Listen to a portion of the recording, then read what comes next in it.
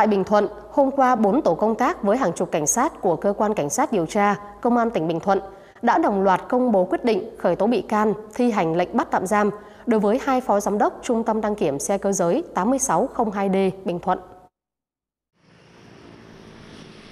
Hai phó giám đốc trung tâm đăng kiểm xe cơ giới 8602D Bình Thuận là Nguyễn Đình Nhật và Huỳnh Tấn Tài bị khởi tố về tội nhận hối lộ theo quy định tại Điều 354 Bộ Luật Hình sự.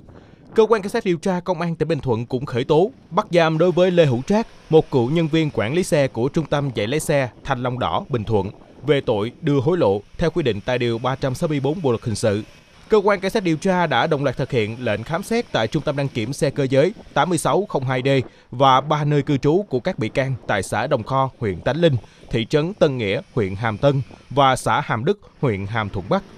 Qua kết quả điều tra ban đầu xác định, từ năm 2020 đến năm 2022, các bị can Nguyễn Đình Nhật, Phó Giám đốc Trung tâm đăng kiểm 8602D, đồng thời là đăng kiểm viên phụ trách hoạt động đăng kiểm. Huỳnh Tấn Tài, đăng kiểm viên, từ tháng 11 năm 2022 đến nay được bổ nhiệm làm Phó Giám đốc Trung tâm đăng kiểm 8602D, đã có hành vi nhận tiền trái pháp luật của Lê Hữu Trác và nhiều chủ phương tiện xe cơ giới để làm thủ tục cải tạo xe cơ giới không đúng quy định của pháp luật và kiểm định cấp giấy chứng nhận chất lượng an toàn kỹ thuật và bảo vệ môi trường xe cơ giới.